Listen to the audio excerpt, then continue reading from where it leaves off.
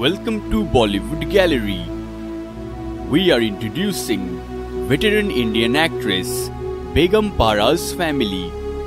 Begum Para was an Indian Hindi film actress who was active mostly in the 1940s and 1950s. She was born as Zubeda ul Haq on 25 December 1926 in Jhelum, Punjab, British India. Her father, Mian Ehsanul Haq, was a judge. Her sister, Rukhsana Sultana, was an Indian socialite. Her elder brother was Masrurul Haq. She married actor Nasir Khan, the younger brother of Bollywood actor Dilip Kumar.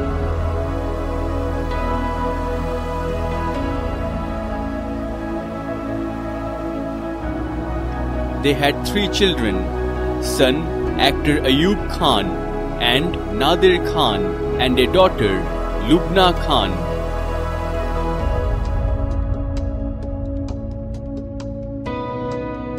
Famous costume designer Niharika Bhasin is her daughter in law.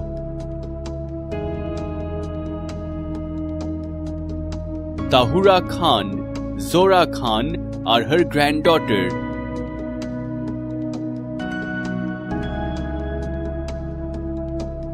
Actress Amrita Singh is her niece.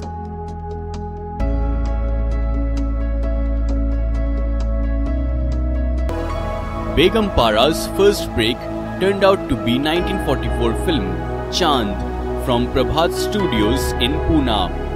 Prem Adib was the hero and Sitara Devi was the vamp in the film. It did extremely well and Para started getting paid rupees 1500 in a month.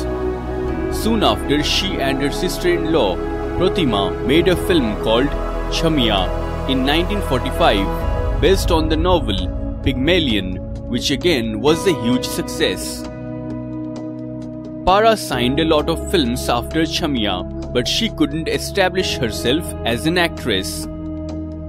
Because she had a highly scandalous image, people always gave her the role of glamour doll in most films. She didn't mind it because she always played herself on screen. In 1951, she posed for photographer James Burke for a Life magazine photo shoot. Para's last role was in the movie Karbhala in 1956. She was also offered to play Nigar Sultana's role Bahar in Mughal-e-Azam. However, she refused to play the role because she considered it against her image.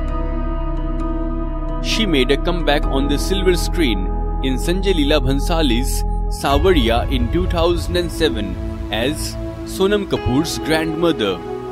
She died in her sleep on 9 December 2008 at the age of 81. So friends, if you want to watch your favorite celebrities video, comment below and don't forget to subscribe Bollywood Gallery.